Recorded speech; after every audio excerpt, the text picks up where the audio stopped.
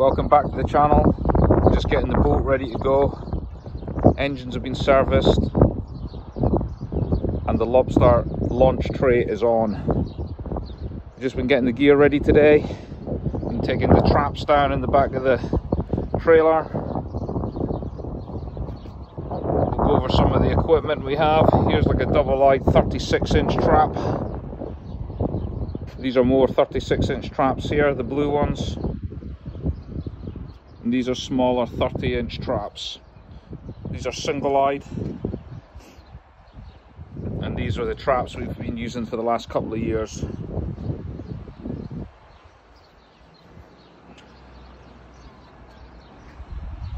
Here's some with an American style eye in it, or entrance with a hoop.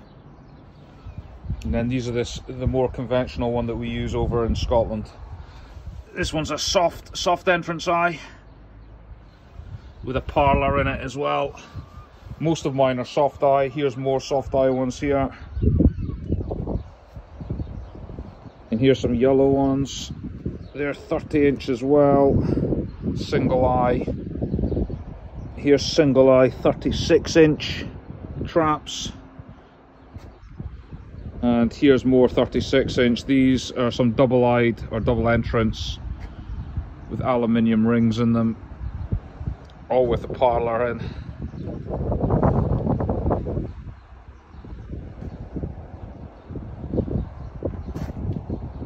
And hopefully we'll get the uh, the boat in the water the next couple of days. the sea's looking good. Still a lot of rain kicking about. Just outside John's over there.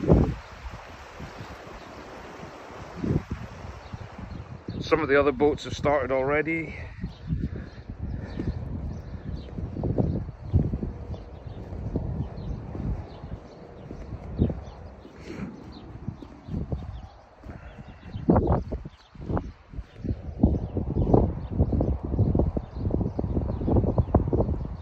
There's the entrance to the harbour there, look.